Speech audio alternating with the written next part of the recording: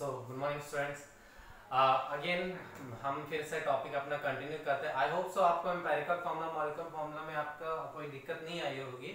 But आपसे मेरा एक स्पेशल रिक्वेस्ट है कि आप बहुत ज़्यादा रिसर्च नहीं करें इन चीज़ों पे, क्योंकि ये बोर्ड वगैरह से रिलेटेड क्वेश्चन है. क्योंकि ये पूछे जाते हैं तो आपको नॉलेज होना चाहिए इन चीज़ों का, ठीक है? खैर, गौरतलब बात ये है कि अब हम जो अपना टॉपिक है फिर से कंटिन्यू करते हैं, ठीक है? तो हमने, मैंने कुछ क्वेश्चंस लाए हैं और उन क्वेश्चंस को हम करेंगे. तो क्वेश्चन है पहला. 2 oxide 2 oxide of metal contains 2 oxide of metal contains 2 oxide of metal contains 50% and 40% of metal 50% and 40% of metal 50% and 40% of metal respectively respectively respectively if formula of first oxide is MO if formula of first oxide is MO then calculate formula of then calculate formula of second oxide, ठीक है? देखो बेटा, समझो बात को। करना तो आपको इसी इसी मेथड से, हालाँकि घबराने की कोई ज़रूरत नहीं है, ठीक है?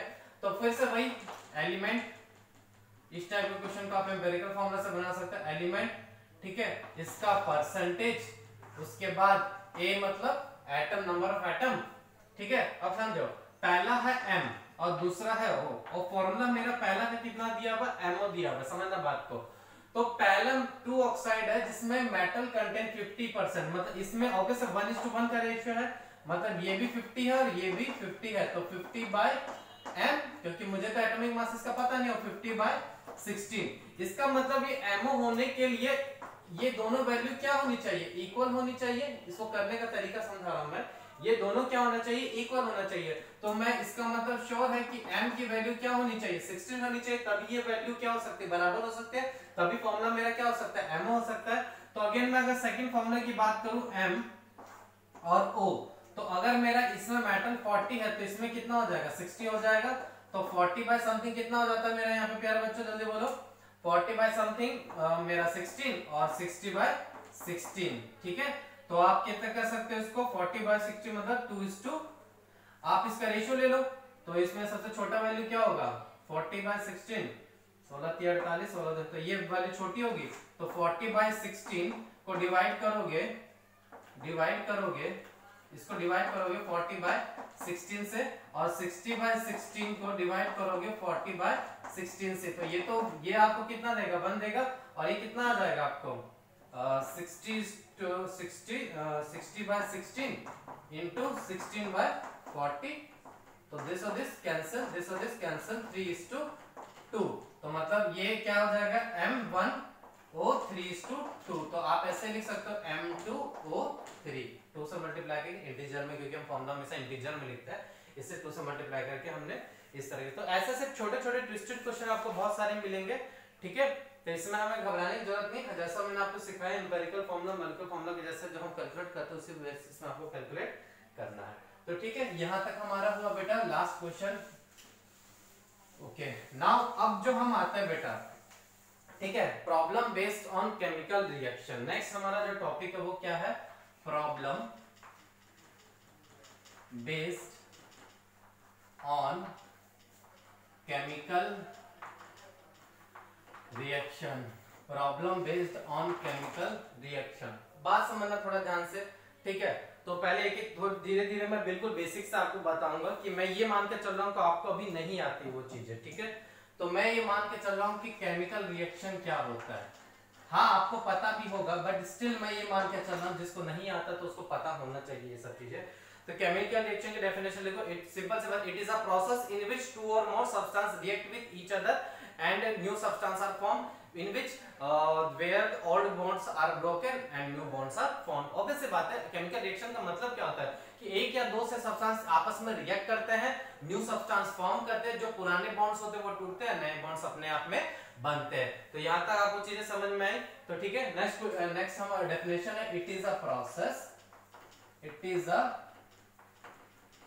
process in which two or more substance in which two or more substance two or more substance in which two or more substance substance interact with each other interact with each other interact with each other and form new substance and form new substance and form new substance where old bonds are broken where old bonds are broken and new bonds are formed. तो मेरे हिसाब से आपको ये चीज़ें clear हो चुकी होंगी कि आपको बाय डेफिनेशन भी आपको समझ में आ रहा होगा केमिकल रिएक्शन कि दो एक से दो सब्सटेंस रिएक्ट करेंगे नए नया नया सब्सटेंस फॉर्म होगा नए ओल्ड बॉन्ड्स ब्रोकन होते हैं मतलब रिएक्टेंट के बॉन्ड्स ब्रोक होते हैं और प्रोडक्ट के नए बॉन्ड्स फॉर्म होते हैं, ठीक है? अब मैं सेकंड जो डेफिनेशन लिखवाने जा रहा हूँ, वो है मेरा केमिकल इक्वेशन क्या है? केमिकल इक्वेशन अब केमिकल इक्वेशन क्या कहता है, समझो बात को। केमिकल इक्वेशन है उसी रिएक्शन को अगर हम सिंबलिक फॉर्म में रिप्रेजेंट करते तो क्या होता है? केमिकल इक्वेशन तो chemical equation is a symbolic form of chemical equation is a symbolic form of chemical chemical reaction. That is, all chemical reaction are represented by that is all chemical that is all chemical reaction are represented by chemical reaction are represented by chemical equation chemical equation by using chemical formula by using chemical formula by using chemical formula of reactant and product of reactant and product of reactant and product तो chemical equation क्या होता है symbolic form of chemical reaction और हमें पता है all chemical जितने भी हम पढ़ते हैं वो हर केमिकल रिएक्शन को हम केमिकल इक्वेशन के फॉर्म में ही रिप्रेजेंट करते हैं कैसे रिप्रेजेंट करें रिएक्टेंट का फॉर्मूला लिख के और प्रोडक्ट का फॉर्मूला लिख के इस तरीके से हम केमिकल इक्वेशन को रिप्रेजेंट करते हैं। तो अब हमारा नेक्स्ट डेफिनेशन आता है रिएक्टेंट का कि आखिर रिएक्टेंट क्या होता है? व्हाट इज़ रिएक्टेंट ठीक है? तो रिएक्टेंट क्या होता है? जल्दी बताओ। शायद मुझे लगता है आपको पता होगा। The substance in which change is brought and the and it present in left hand side of the chemical equation. ठीक है? इसलिए लिख देता हूँ substance substance in which in which change is brought is brought substance in which change is brought and it is present on left left hand side of chemical it is present on the left hand side of the chemical equation उसे हम क्या बोलते हैं? Reactant बोलते हैं, ठीक है? Next हमारा क्या आ रहा है? प्रोडक्ट आता है। क्या आता है? Product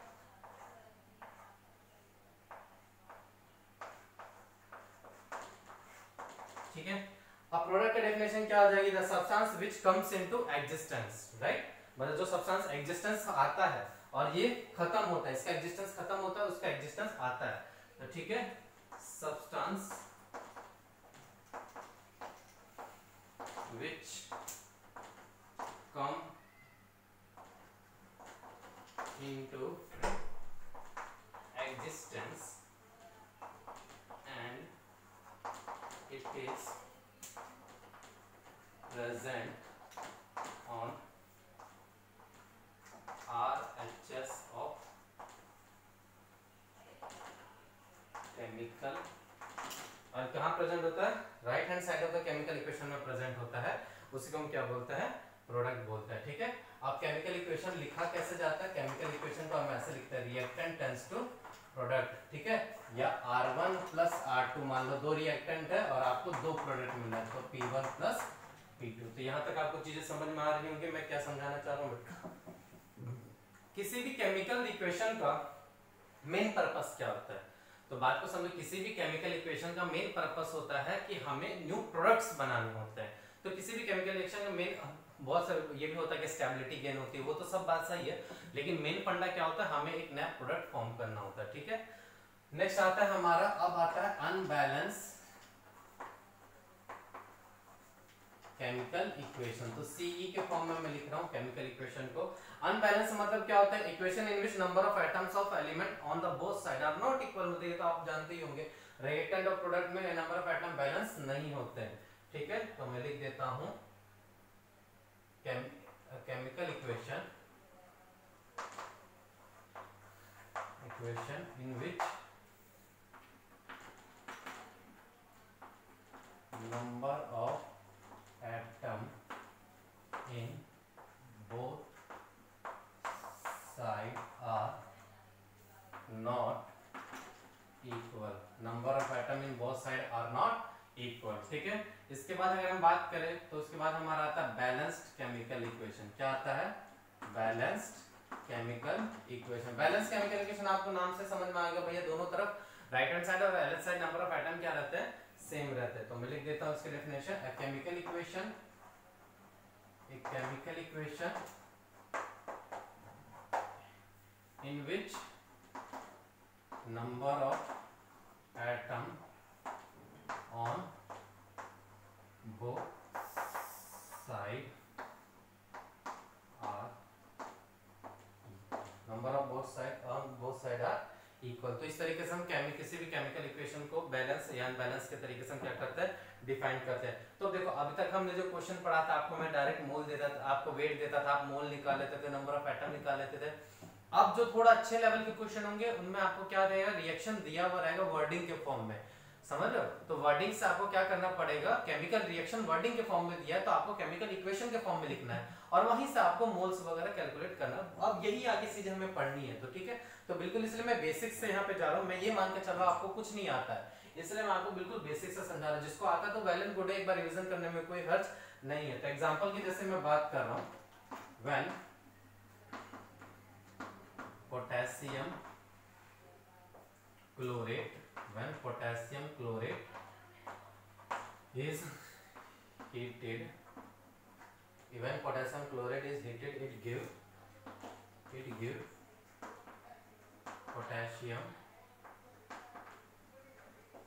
chloride and oxygen it give potassium chloride and oxygen कहने का मतलब क्या बेटा कहने का मतलब है KClO3 ये था वर्डिंग के फॉर्म में तो क्या बोला पोटेशियम क्लोरेट को हीट जब हम करते हैं हीट का सिंबल डेल्टा से डिनोट करता है तो ये मुझे क्या देता है? KCl प्लस ऑक्सीजन गैस ये हम इसको ऐसे भी रिप्रेजेंट करते हैं, क्योंकि जनरली यहाँ सॉलिड वगैरह रिप्रेजेंट करना चाहिए, अच्छी बात होती है। और गैस को हम या तो जी से भी आप डिनोट कर सकते हो, या अपवर्ड एरो से भी डिनोट करते हो। गैसेस क्या हो जाती है? इवॉल्व हो जाती है, ठीक है? तो ये मेरा क्या था? अनबैलेंस केमिकल इक्वेशन है यू बी ई तो इसका बैलेंस करूँगा तो बैलेंस कैसा होगा? KClO3 solid, tends to give KCl plus O2 तो यहाँ पे क्या हो जाएगा? ट्वाइस ट्वाइस और थ्री तो देखो अब इस तरीके से आप समझ जाओगे कि इक्वेशन क्या हो चुका है? बैलेंस होता है। तो जनरली हम कोई भी केमिकल इक्वेशन को हीट एंड ट्रायल मेथड से करते हैं। तो पहले पोटेशियम पहले ऑक्सीजन को बैलेंस किया मैंने तो ऑक्सीजन सिक्स हो गया, यहाँ पे भी सिक्स तो पोटेशियम क्लोराइड के और सीएल दो थे तो यहाँ पे दो ऐड कर दिया। इस तरीके से हम क्या कर सकते हैं? किसी भी केमिकल इक्वेशन को बैलेंस कर सकते हैं। ठीक है? अब दो बातें होती है। आखिर बैलेंस केमिकल इक्वेशन से क्या पता चलता है? तो आपको बैलेंस केमिकल इक्वेशन से बहुत कुछ बातें पता चलती है कि आखिर कोई भी सब्सटेंस किस फॉर्म में रिएक्ट कर रहा है और मुझे कितने मोलर रेशियो में प्रोडक्ट मिल रहा है। आपको याद होगा, मैंने गेल उसक लो आपको पढ़ाया था। आपको ये भी याद होगा कि मैंने एवोगाड्रो हाइपोथेसिस भी आपको पढ़ाया था। तो याद होंगी आपको ये सब चीज़ें। तो मैंने क्या बोला था? अगर आपको बैलेंस केमिकल इक्वेशन पता है तो आप इस इक्वेशन को कैसे मतलब प्रोनाउंस या कैसे बोलोगे?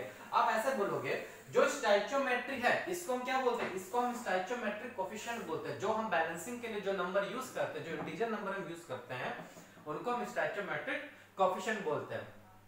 तो जनरली क्या होता है, इसको हम ऐसा बोलेंगे two moles of KClO3 on heating gives 2 moles of KCl and 3 moles of O2 आप अगर अगर ये गैसियस रिएक्शन होता, मैं क्या बोला, अगर ये गैसियस रिएक्शन होता तो जो स्टैचोमेट्रिक कोफिशिएंट है, वही इसका मोल रेशियो भी हो जाएगा और वही इसका क्या हो जाएगा वॉल्यूम रेशियो भी। तो समझना, अगर यहाँ पे, अगर, क्योंकि ये गैसियस रिएक्शन नहीं है तो यहाँ पे वॉल्यूम का टर्मिनोलॉजी मैं यूज़ नहीं कर सकता। तो ये रिएक्शन किस फॉर्म में रिएक्ट कर रहा है? Two is to two is to three के फॉर्म में।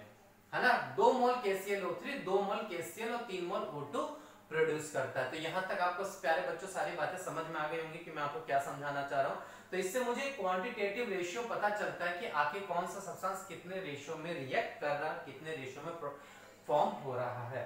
तो यहाँ तक तो चीज़ें आपको समझ में आ गई होंगी। आपको मैं क्या समझाने की कोशिश कर रहा हूँ बेटा? ठीक है? तो आप समझो कि आखिर मुझे क्या क्या पता चलता है। तो पहले मैं लिख देता हूँ, नोट बना के। ठीक है? ठीक है? नोट बना के तो पहला नोट है a balance a balanced chemical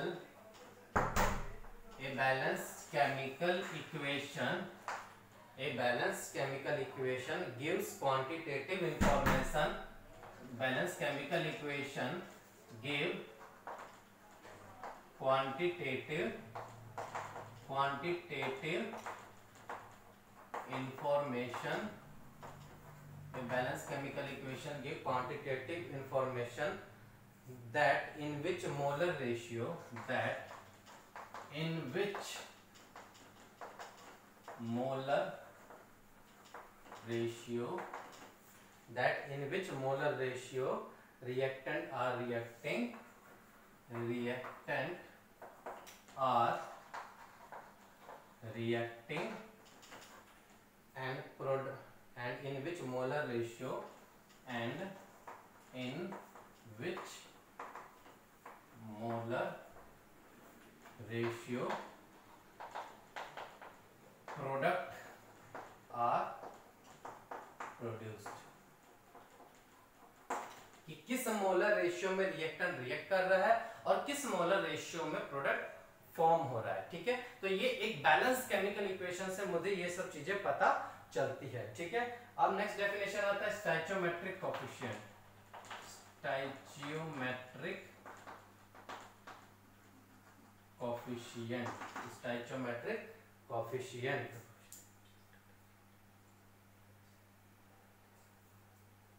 ठीक है? तो मैं लिख देता हूँ. Coefficient in which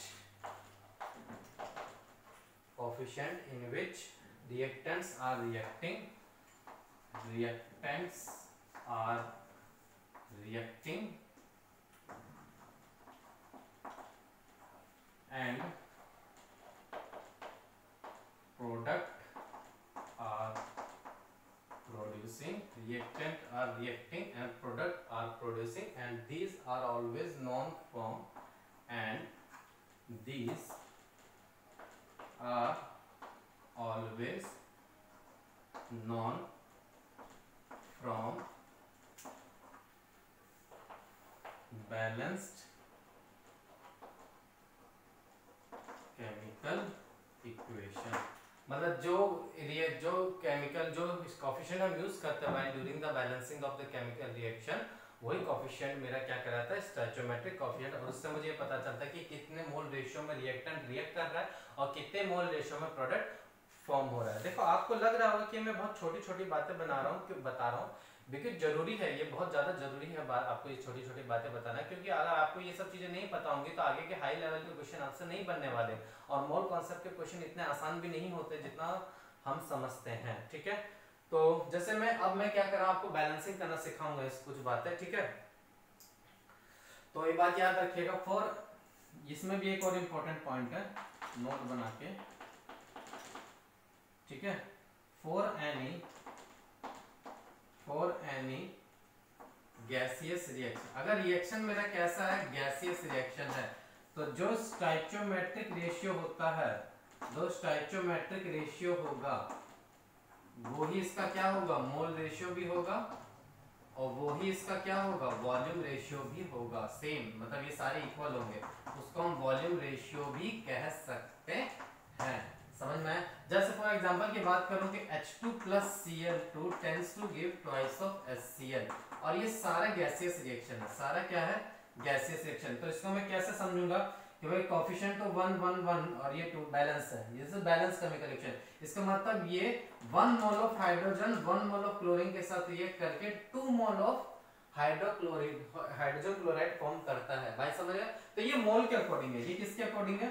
मोल के अकॉर्डिंग अगर मैं इसको वॉल्यूम के अकॉर्डिंग बोलूँगा कि one litre of hydrogen gas one litre of chlorine gas के साथ रिएक्ट करके two litre of hydrogen chloride gas form करता है। तो आप इस तरीके से भी कर सकते बट ये याद रखिएगा सिर्फ़ चीज़ वैलिड होगा गैसेस रिएक्शन के लिए आप, आप बाकी चीज़ों के लिए आप इन चीज़ों को अप्लाई नहीं कर सकते हो ठीक है? तो अब हम क्या करेंगे थोड़ा बैलेंसिंग करना सीखेंगे प्यारे बच्चों ताकि आपको चीज़ें और क्लियर हो जाए ठीक है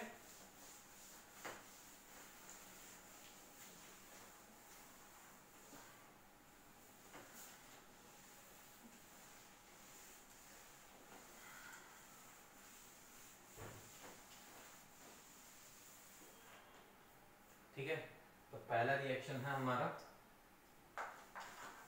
N2 plus H2 tends to give NH3 second reaction है हमारा, C plus O two C plus O2 tends to give CO2 ये आपको हिट HTM से बनाना है, किससे बनाना है? हिट एंड ट्रायल मेथड से बनाना है, ठीक है? तीसरा। देखो, अगर मैग्नीशियम देखो बात को समझो कुछ अब बातें मैं आपको यहाँ पे समझा देना चाह रहा हूँ। कभी भी कोई एलिमेंट अपने अगर ऑक्सीजन के साथ रिएक्ट कर रहा है मतलब आप इसको ऐसे पढ़ सकते हो कभी कभी क्वेश्चन में आपका ऐसा है कि when carbon is burn burn word जहाँ आ गया मतलब आप किसी को जला रहे तो किस प्रेजेंस में जलाते हैं? हमेशा हम ऑक्सीजन के प्रेजेंस में जलाते हैं। तो बर्निंग का मतलब हो गया कि आपको उस एलिमेंट को ऑक्सीजन के साथ क्या करवाना है? रिएक्ट करवाना है। आपको क्या बोलोगे? When carbon is burn with when carbon is burn the it produce CO2 gas मतलब carbon react with oxygen gas या कार्बन इज़ बर्निंग तो मतलब एक ही बात होता है ठीक है? अब मैग्नीशियम को भी अगर मैं क्या करता हूँ? ऑक्सीजन के साथ रिएक्ट करवाता हूँ। तो आपको क्या मिलेगा? आपको मिलेगा MgO तो कभी भी कोई एलिमेंट उसका जब रिएक्ट करता है ऑक्साइड के साथ तो आप ये बातें याद रखिएगा कि आ, ये हो जाता है। उसका ऑक्साइड फॉर्म हो जाता है, ठीक है? तो प्यारे बच्चों, आप यहाँ तक चीज़ें समझ में आए होंगे। चौथे की अगर मैं बात करूँ, ठीक है? आपको बैलेंस करना है एक एक एक एक करके तो मैं भी बैलेंस नहीं कर रहा हूँ। अगर मान लो एल्युमिनियम है एल्युमिनियम अगर ऑक्सीजन के साथ ये करे तो एल्युमिनियम का वेल नोन ऑक्साइड कौन सा होता है? Right where very good Al2O3 ठीक है? फिफ्थ की बात करूँ मैं फिफ्थ में है गया मेरा CO plus CO2 plus plus O2 ये क्या देगा आपको? CO2 तो आपको इसको भी बैलेंस करना है। सिक्स मेरा क्या हो जाएगा? जैसे आप देखो देखो, समझो। अगर कोई एलिमेंट है तो उसका ऑक्साइड फॉर्म होगा, लेकिन अगर कोई कंपाउंड है तो आपको क्या प्रोड्यूस करना उसका हायर ऑक्सीडेशन जैसे कार्बन मोनोऑक्साइड है। कार्बन मोनोऑक्साइड कब फॉर्म होगा? जब कार्बन आधा जला होगा। आधा जला होगा मतलब ऑक्सीजन के साथ कंप्लीट नहीं किया रिएक्ट किया होगा, तभी तो कार्बन मोनोऑक्साइड बना। और फर्दर आप कार्बन मोनोऑक्साइड और जलाते हैं तो फाइनल ऑक्सीडेशन स्टेट उसका कितना मतलब किस कौन सा फाइनल ऑक्साइड बनाएगा CO2 बनाएगा। वैसे ही कार्बन और हाइड्रोजन को जब आप ऑक्सीजन के साथ रिएक्ट कराते हो मतलब whenever any hydrocarbon is burned तो याद रखिएगा, किसी भी हाइड्रोकार्बन मतलब कार्बन हाइड्रोजन का तो दो ही प्रोडक्ट होता है, आपका CO2 होता है और H2 होता इसके अलावा कोई प्रोडक्ट नहीं होता तो कोई मगजमारी आपको करनी नहीं है। ठीक है?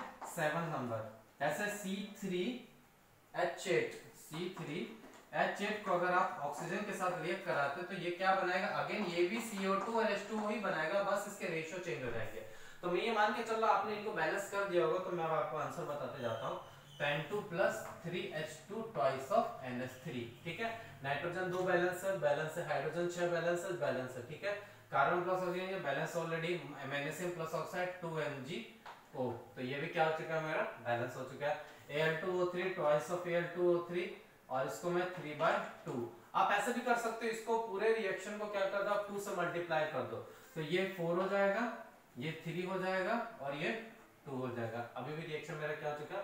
बैलेंस हो चुका. CO प्लस O2 तो अगर मैं क्या करूँगा यहाँ पे, दो कार्बन यहाँ पे हो जाएगा ये टू तो ये मेरा क्या हो जाएगा? बैलेंस हो चुका. अब देखो, ये इसको तरीका क्या होता है? पहले कार्बन हाइड्रोजन को बैलेंस करो. कार्बन बैलेंस है बैलेंस है. हाइड्रोजन कितना? चार. तो यहाँ पे यहाँ पे मैं कितना कर दूँगा? दो कर दूँगा यहाँ पे. तो हाइड्रोजन मेरा क्या हो चुका बैलेंस अब ऑक्सीजन दो और दो चार। तो यहाँ पे क्या कर दूँगा? टू तो चार ऑक्सीजन हो गया।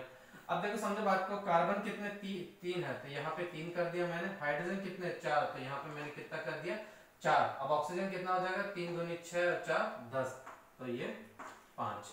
तो ये मेरा क्या हो चुका है? इस तरीके से ये चीज़ें बैलेंस हो चुकी है। ठीक है?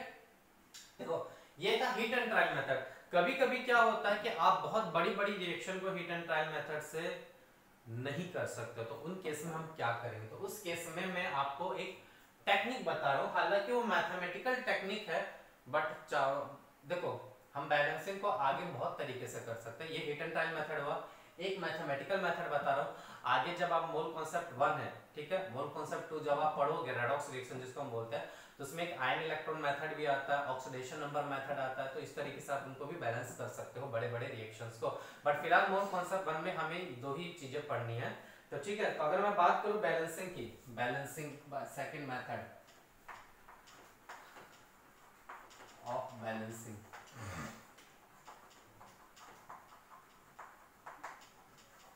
आखिर इसको बैलेंस कैसे किया जाए? तो समझो बात को थोड़ा, ठीक है? आ, अगर मैंने मान लो कोई रिएक्शन दिया K M N O four K M N O four plus F E S O four plus F E S O four plus H two S O four plus H two S O four tends to give आपको क्या देगा? K two S O four plus F E two S O four thrice plus MnSO4 plus MnSO4 plus H2O plus H2O समझो बात को? आपको ये reaction दिया और आपको बहुत बड़ी रिएक्शन है तो आप कैसे इन चीज़ों को बैलेंस करोगे? तो अब ये हीट एंड ट्रायल मेथड से तो नहीं होगा। देखो, मैं तेरा सजेशन तो यही दूँगा कि अगर जहाँ तक हो सके तो ट्राई करें हिट एंड ट्रायल मेथड अगर इनके फिर भी नहीं होता और आपको ज़रूरी है बैलेंस करना तो फिर आप ये मेथड यूज़ कर सकते हो। तो अब एक काम करो। आप अपने मन से सबके क्या मान लो? स्टैचोमेट्रिक कोफिशिएंट मान लो। तो लेट से इसका मैंने x माना, इसका y माना, इसका कोफिशिएंट z माना। इसका कितना हो जाएगा? a हो जाएगा, इसका b हो जाएगा, इसका c हो जाएगा, इसका d हो जाएगा। तो कितने वेरिएबल माने आपने? सात वेरिएबल तो इक्वेशन आपकी हमेशा एक कम बनेगी तो छह इक्वेशन बनेगी। ठीक है? अब आपको इक्वेशन किस तरीके से बनानी है, समझो बात को। जैसे अगर आपको पोटेशियम के लिए इक्वेशन बनानी किसके लिए बनानी है? पोटेशियम के लिए। पोटेशियम यहाँ पे कितना है? X, ठीक है? और वहाँ कितना है? दो। तो यहाँ मैं लिख सकता हूँ, x इक्वल टू टू ये पहला इक्वेशन बनेगा पोटेशियम के लिए। ठीक है? समझ में आया? ठीक है। अगर मैं बात करूँ Mn की, Mn के लिए x अगेन x, और यहाँ पे कितना हो जाएगा? C और कहीं Mn है, और कहीं Mn नहीं है तो x इक्वल टू कितना हो जाएगा? C ये दूसरा एमन एटम के लिए बनेगा। एटम को आपको बैलेंस करना है, ठीक है? अब आ जाएगा आपका सपोज़ करो आयरन आयरन को आपको कैसे बैलेंस आयरन तो यहाँ पे वाई है सिर्फ़, और आयरन यहाँ पे क्या है? यहाँ पे, ठीक? और तो कहीं आयरन है नहीं तो y बराबर क्या हो जाएगा? टू बी हो जाएगा, ठीक है? अब आपको बैलेंस करना सल्फ़र के लिए। सल्फ़र यहाँ पे कितना है? अगेन सल्फ़र दो जगह, एक यहाँ पे है और एक यहाँ पे तो y plus Z Y plus Z किसके बराबर हो जाएगा? Y प्लस जेड बराबर हो जाएगा आपका three sulphur three B three B plus A plus C तो मैं लिख सकता हूँ ए एक ए तो यहाँ पे है प्लस थ्री बी है प्लस थ्री बी है, और प्लस सल्फ़र यहाँ पे है तो एक सल्फ़र सी तो सी के बराबर। तो ये क्वेश्चन आपको समझ में आ गए होंगे। ठीक है, अगर मैं बात करूँ हाइड्रोजन के लिए। हाइड्रोजन के लिए अगर मैं बात करता हूँ तो बेटा ये क्या होगा, जल्दी देखो। ठीक है हाइड्रोजन के लिए अगर मैं बात करूँ तो हाइड्रोजन सिर्फ़ यहाँ पे तो टू जेड टू जेड बराबर किसके हो जाएगा? हाइड्रोजन यहाँ पे डी है। और तो कहीं हाइड्रोजन नहीं है तो राइट से टू टू जेड बराबर टू डी और ऑक्सीजन की अगर मैं बात करूँ तो ऑक्सीजन का देखो कितना होगा? Four X plus four Y plus four Z is equal to four A four X plus four X क्योंकि एक यहाँ पे ऑक्सीजन है, एक यहाँ पे तो फोर एक्स हो जाएगा प्लस फोर वाई हो जाएगा एफ़ फोर के लिए। और जेड में कितने हैं? फोर जेड ऑक्सीजन एटम है, ठीक है? अब यहाँ पे ऑक्सीजन आइटम कितने हैं? फोर ए है यहाँ पे। प्लस कितना है मेरा? चार बारह। Twelve B plus four C plus D तो ये आपका इक्वेशन बन रहा है इस तरीके से। ओके ओके नाउ यहाँ तक आपको चीज़ें समझ में आ गई होंगी। अब अब आखिर एक्चुअली करना क्या है? आपको किसी एक वेरिएबल को क्या मानना पड़ेगा? वन मानना पड़ेगा। और ऑलमोस्ट 99.9 परसेंट केस में ये ट्रिक काम करता है, ठीक है? आपको क्या करना कोई एक ऐसा वेरिएबल को वन मानो जिससे दो तीन इक्वेशन अपने आप मेरी क्या हो जाए? सॉल्व हो जाए। देखो, y को मानूँगा तो y से कुछ मेरा मतलब नहीं है। Z को मानूँगा तो भी मतलब अगर x को मानूँगा तो दो इक्वेशन तो मेरी क्या हो जाएगी? सॉल्व हो जाएगी। आपको समझ में आ रहा आपको उस वेरिएबल को खुद से चुनना है जिससे एक दो इक्वेशन अपने आप क्या हो जाए? कम से कम दो इक्वेशन मेरी सॉल्व हो जाए। तो अगर समझो मैं let x equal to one मानता हूँ। Let x equal to one माना मैंने। x इक्वल टू वन माना तो अगर ये कितना हो जाएगा a की वैल्यू कितनी हो जाएगी? a की वैल्यू हो जाएगी वन बाय टू कितनी हो जाएगी? वन बाय टू अब c कितना हो जाएगा? c की वैल्यू वन हो जाएगी। c की वैल्यू कितनी हो जाएगी? वन हो जाएगी। अब समझो बात को। अब आपको क्या करना है? सॉल्व करना है। चलो, इसको और इक्वेशन को सॉल्व करो। तो y equal to two B है, ठीक है? तो y, इसमें मैं अगर वैल्यू पुट कर दू, y प्लस जेड बराबर क्या होगा? a plus three A plus sorry a plus sorry my mistake a plus three B plus C C की वैल्यू पता है ए की वैल्यू पता है वाई की वैल्यू कितनी पुट कर दो? Two B two B plus Z tends to give A की वैल्यू कितनी? ए की value one by two plus three B plus C की वैल्यू कितनी? वन तो ये इधर आ जाएगा तो z minus B is equal to कितना हो जाएगा? थ्री बाय टू तो इक्वेशन आपको क्या होना? टू से मल्टीप्लाई करूँगा तो two Z minus two B is equal to three तो ये इक्वेशन वन बनेगा मेरा। अब आपको अगेन जेड माइनस बी के फॉर्म में दूसरा इक्वेशन भी बनाना है। सो देट आपका आंसर अच्छे से आ जाए तो आप क्या करोगे? इसको सॉल्व करोगे, ठीक है?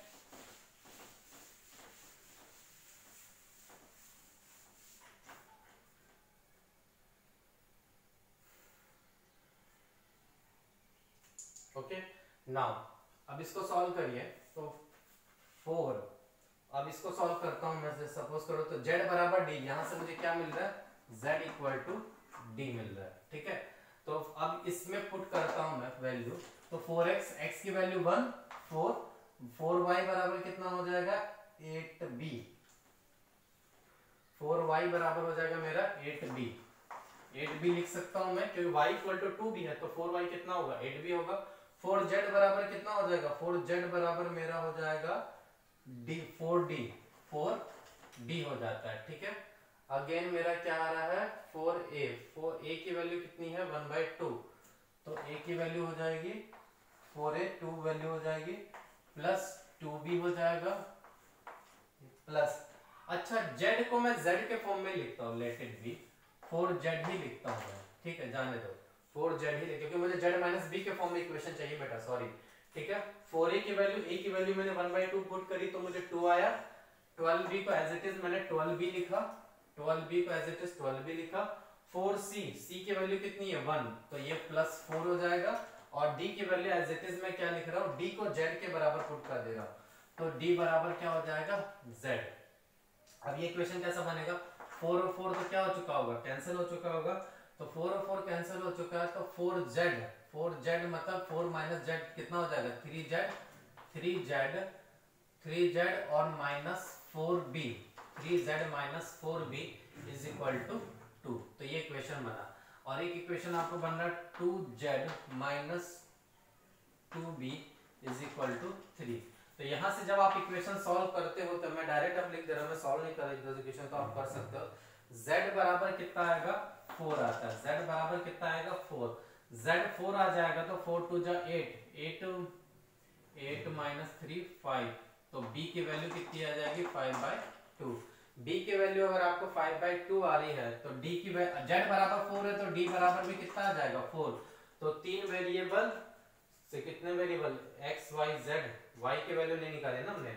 हाँ राइट तो y की वैल्यू कितनी हो जाएगी? Y बराबर क्या होता है? टू बी तो b की वैल्यू कितनी? Two into five by two और इक्वल टू फाइव तो आपको सारी इक्वेशन पता चल गए? सारे वेरिएबल पता चल गए? वैल्यू पुट करिए. X की वैल्यू आपने कितने मानी? वन तो K M N O four equation लिख देता हूँ मैं K M N O four plus F E S O four plus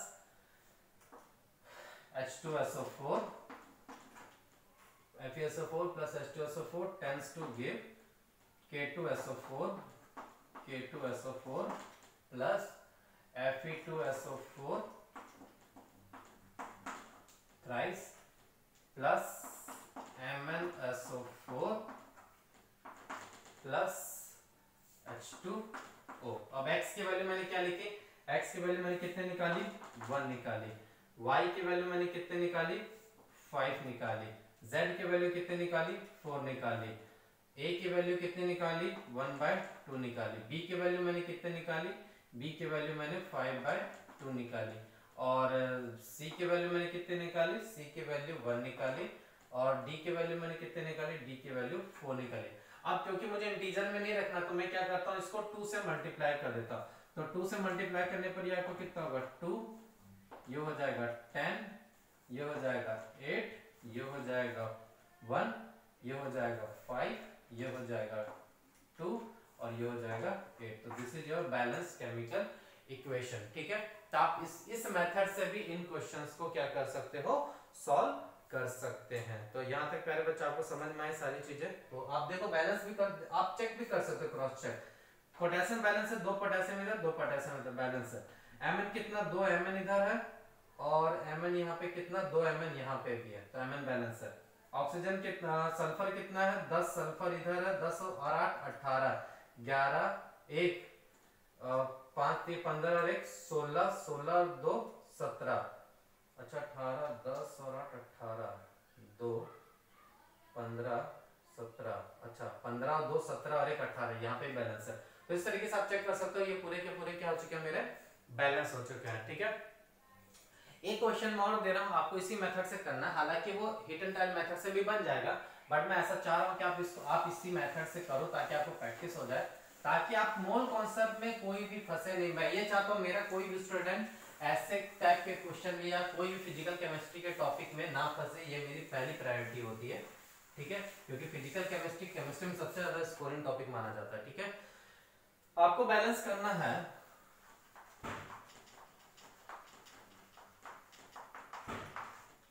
ठीक है?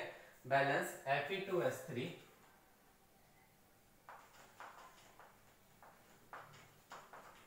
F E two S three plus H two O plus O two O two tends to give tends to give F E O H thrice F E O H thrice plus H two S plus H2S plus, sorry, not H2S only S only S, ठीक है? आप प्यारे बच्चे, समझो। आपको क्या करना हालाँकि हिट एंड ट्रायल मेथड से तो हो जाएगा बट मैं ये मान के चल रहा हूँ, आपको उसी मेथड से करना जो मैंने आपको सेकंड मेथड बताया था, ठीक है? तो ये हो गया x, ये हो गया y, ये हो गया z, ये हो गया a और ये हो गया b. तो पहले इक्वेशन f के लिए तो क्या लगे f के लिए मेरा क्या बनेगा इक्वेशन f के लिए बनेगा 2x कितना होगा a? Two X equal to A और अगर मैं सल्फ़र के लिए बैलेंस करूँ सल्फ़र के लिए बैलेंस क्या होगा? थ्री एक्स थ्री एक्स बराबर कितना हो जाएगा? थ्री एक्स बराबर हो जाएगा मेरे लिए बी हो जाएगा। अगर मैं इसको हाइड्रोजन के लिए पुट करता हूँ तो ये क्या हो जाएगा? टू वाई बराबर कितना होगा? टू वाई बराबर मेरा होगा थ्री ए हो जाएगा। और अगर मैं इसको ऑक्सीजन के लिए पुट करता हूँ ऑक्सीजन के लिए हो जाएगा y plus two Z Y plus two Z बराबर कितना हो जाएगा? Y प्लस टू जेड बराबर हो जाएगा मेरा थ्री ए क्या हो जाएगा? थ्री ए तो अगेन आप ऐसा कोई वेरिएबल मानो जो वन हो तो कौन सा वेरिएबल मानना होगा? x मानना होगा, क्योंकि दो इक्वेशन सॉल्व हो जाएँगे। If x equal to one तो a बराबर क्या हो जाएगा मेरा? वन बाई टू हो जाएगा। और b बराबर क्या हो जाएगा? थ्री हो जाएगा। तो तीन वेरिएबल आपको यहीं पे खत्म हो गए। b बराबर थ्री हो जाएगा, और समझो y की वैल्यू कितनी आ जाएगी? अगर a वन बाई टू है तो y की वैल्यू कितनी हो जाएगी? टू वाई बराबर हो जाएगा थ्री बाई टू तो y बराबर हो जाएगा थ्री बाय फोर y बराबर थ्री बाय फोर हो जाएगा।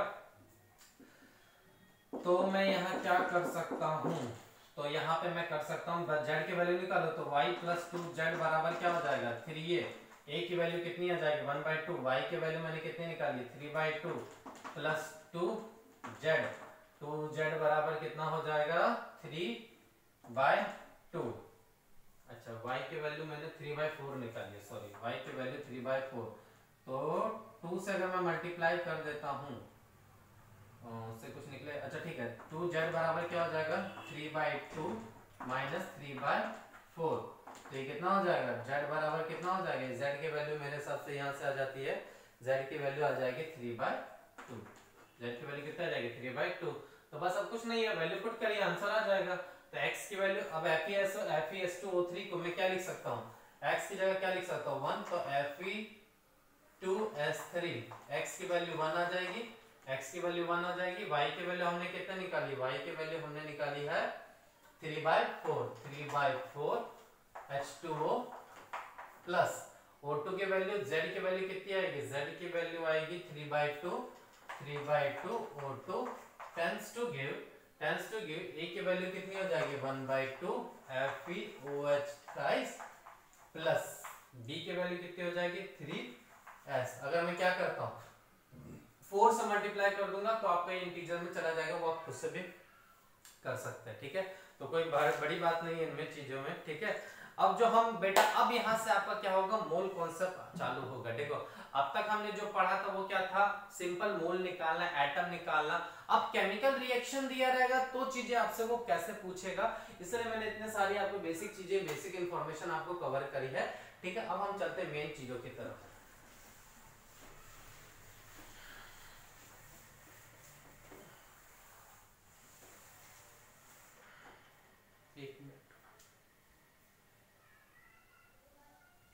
ठीक है? नाउ अब बात हो रही है interpretation of interpretation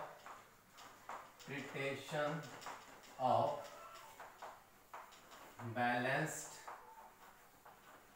chemical equation interpretation of balance chemical equation interpretation of balance chemical equation या इसको हम क्या बोलते हैं? Stoichiometric stoichiometric and stoichiometric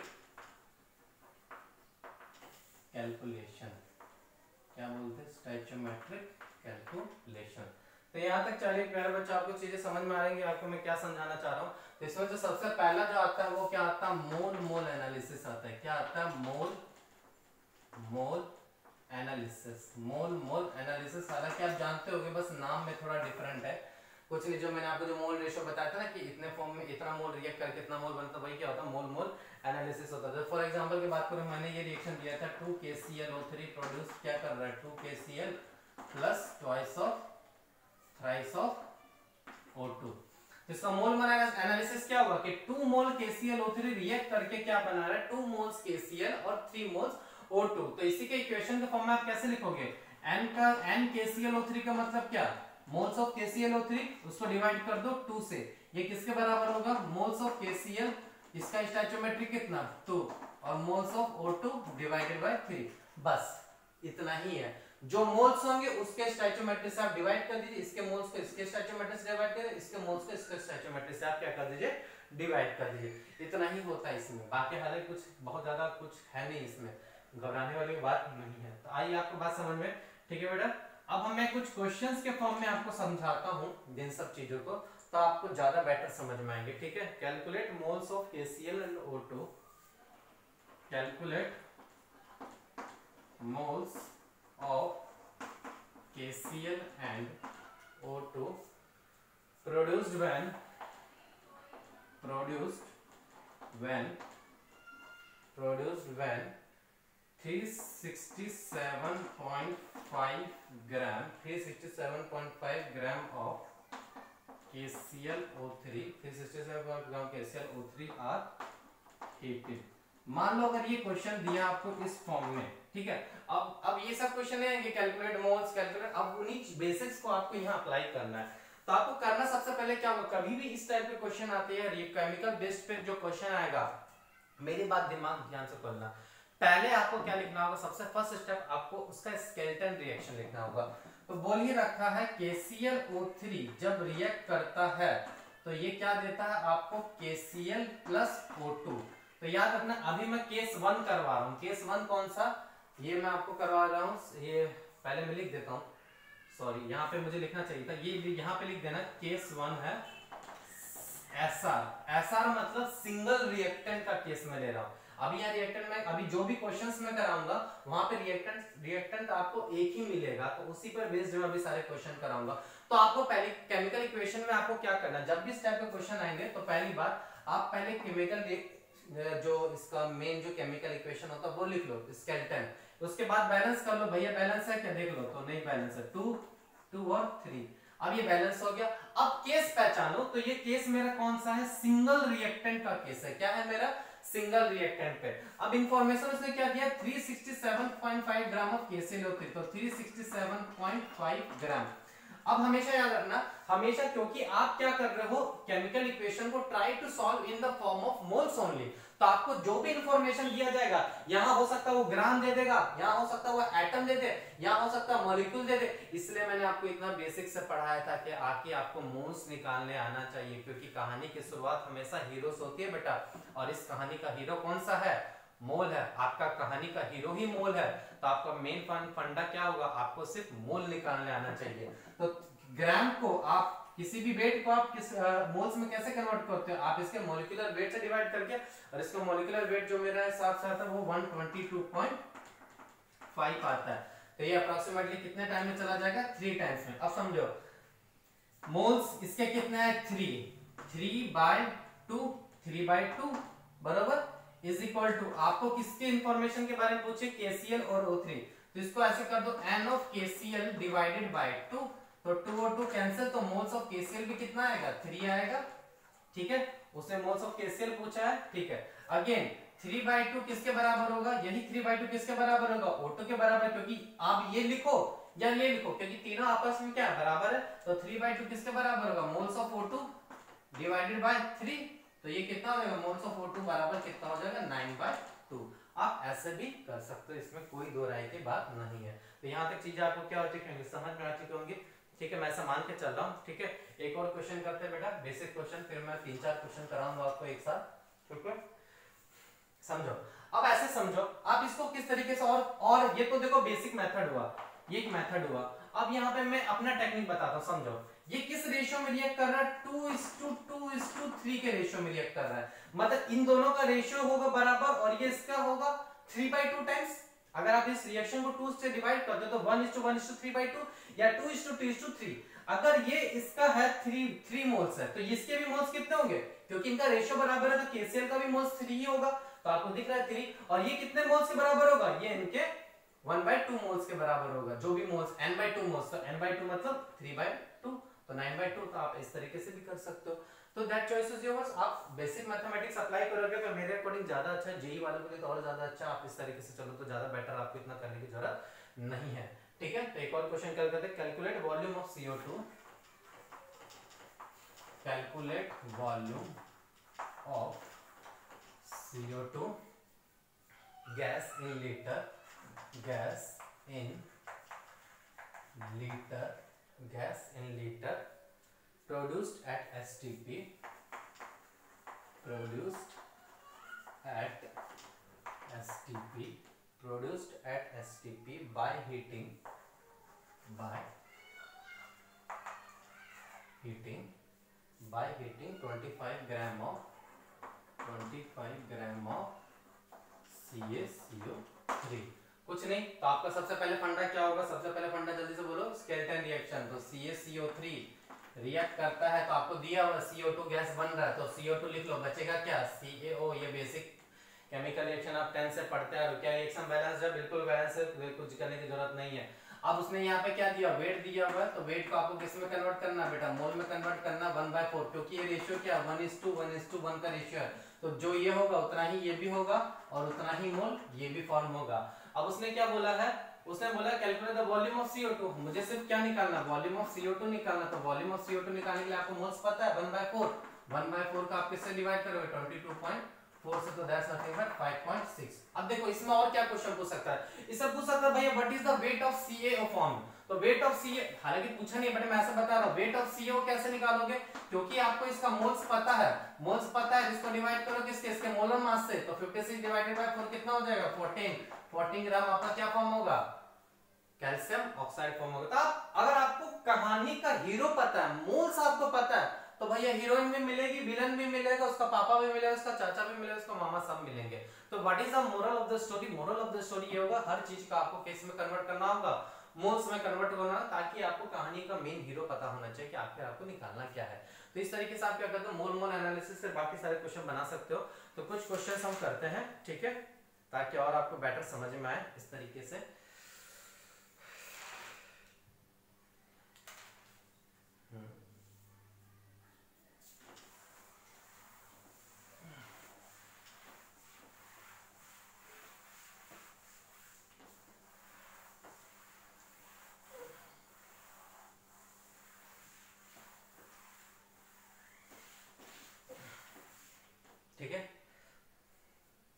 question है हमारा। What mass of oxygen will produce of oxygen will produce what mass of oxygen will be required sorry will be will be required to react completely with to react completely with with 1 gram of calcium with 1 gram of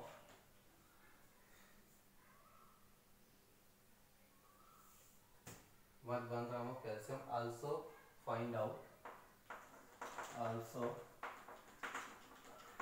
find out. Mass of ये देखो, ये question थोड़ा second case का है, ठीक है?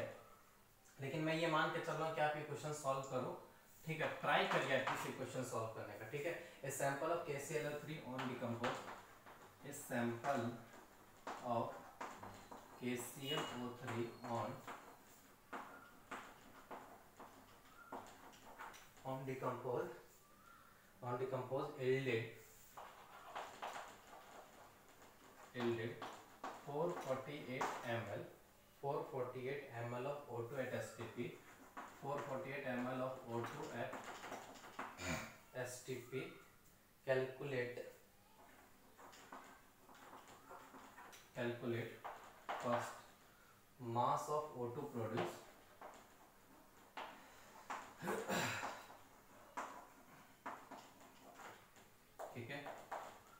second है आपका mass of K C L O three mass of K C L O three originally ठीक है? थर्ड केस है आपका mass of K C L produced mass of K C L produced ठीक है? Now third question is our अच्छा one litre of oxygen one litre ये advance level का question है बेटा नीट वाले बच्चे इस क्वेश्चन को छोड़ सकते हैं कोई इश्यू नहीं है बट ये एडवांस लेवल का क्वेश्चन है ठीक है बाकी ये आपको सबको अटेंड करना है ठीक है one litre of mixture of CO one litre of mixture of CO and CO two was passed through Red Hopcock was passed through Red Hot Cock was passed through Red Hot Cock full stop the gas when which comes out a gas which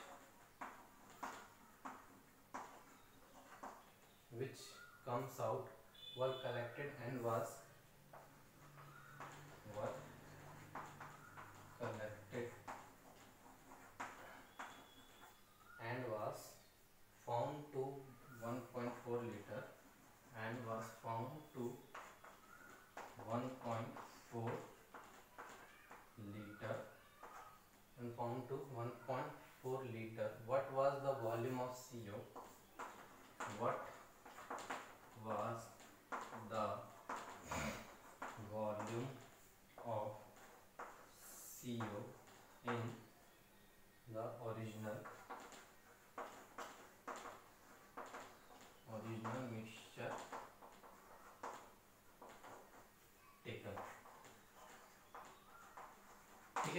देखो, ये question में थोड़ा time accessed हो रहा है बहुत ज़्यादा तो टाइम हमें टाइम एक्सेड नहीं करना है।